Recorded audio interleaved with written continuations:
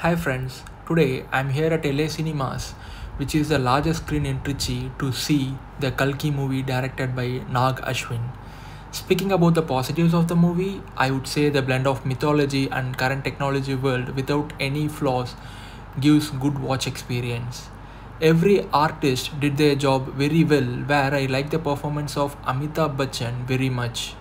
I like to see all actors coming together for creating this world of Kalki. This kind of initiatives will keep cinema healthy is my personal opinion. At first half, we will get few minutes to check our mobile and to buy some snacks to avoid interval rush. Apart from that, it's a good watch and experience in big screens.